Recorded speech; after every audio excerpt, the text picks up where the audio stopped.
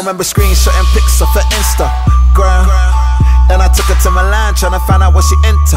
Uh, I was just looking for a girl for the winter to practice, baby, make it on them lazy days. And I kept her wet on them rainy days.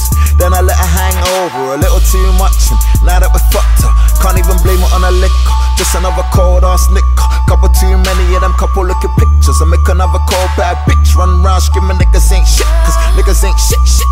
And I wish could prove you wrong and wrong. And then maybe you Gucci. could stay the way you are. Cause I had that.